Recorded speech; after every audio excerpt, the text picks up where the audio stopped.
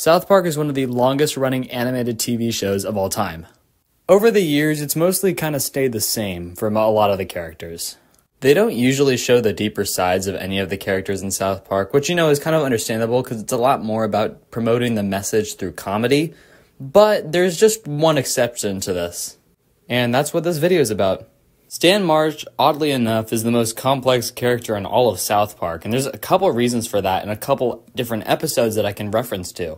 So let's just get into it. Starting off with the first instance of Stan being like this more mature character than a lot of the other ones and actually showing like deeper feelings than just like calling other people words that I can't say on YouTube, is in the episode Kenny Dies, the end of season 5. This is arguably one of the most emotional episodes of the entire show. This episode does technically like show every single deep side of each of the characters, but I'm mainly talking about Stan because this isn't like the only instance he is. But for in this episode, Stan, even though that his friend is dying, he can't get himself to actually go see him because he doesn't want him to see his friend in the state that he's in. It's actually like really sad because a lot of people suffer from this in real life to see the once filled with life person that used to know all of a sudden just kind of there sitting in a bed just not being able to do anything is heartbreaking. And this is exactly what stan felt.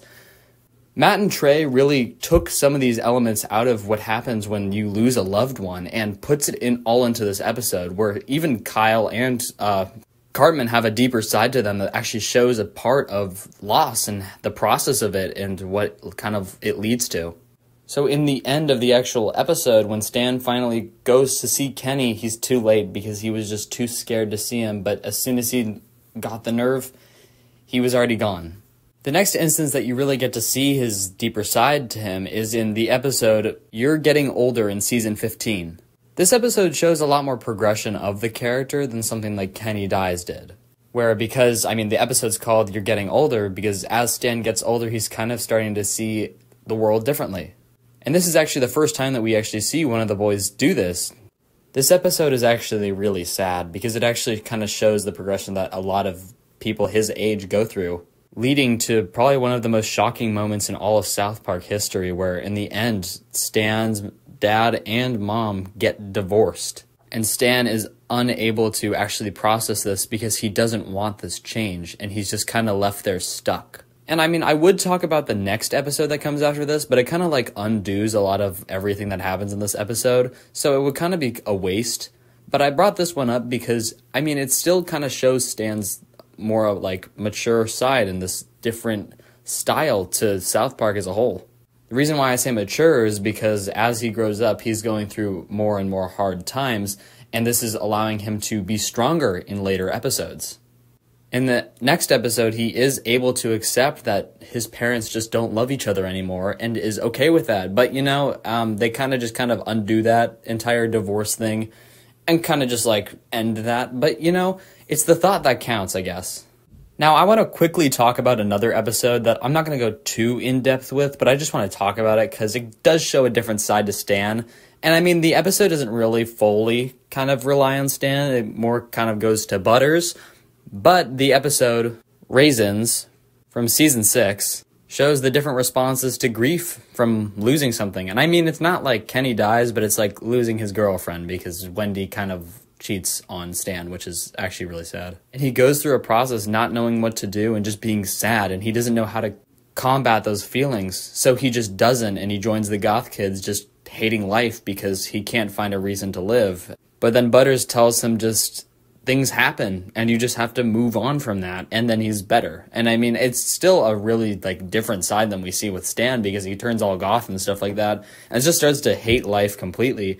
It's a really sad episode but it's more funny than sad. It's like one of my personal favorite episodes of the entire series but i thought i'd give it a quick mention. The next and final instance that i want to talk about is actually from the pandemic special from a couple years ago in the end, we find out that the reason why Stan was trying to get Butters out of the school is because of his personal needs.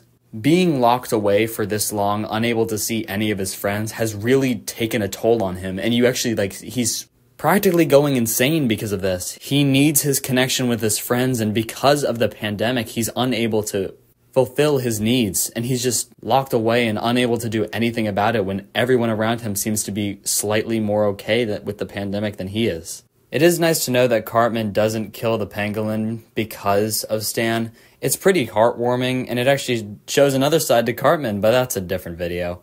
Concluding that Stan Marsh is probably the most emotional character in the entire show. He's something different that Matt and Trey wanted to do with him because they feel like they could because he has so much going on in his life that actually makes sense with his character and everything that he has to suddenly just kind of like be thrown in these different situations and actually see real emotions come out of him. It's actually insane how accurate Matt and Trey got with this.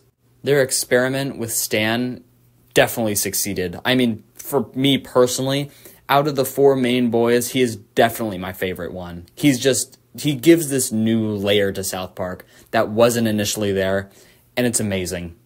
Thank you all for watching. I'm Enchanted.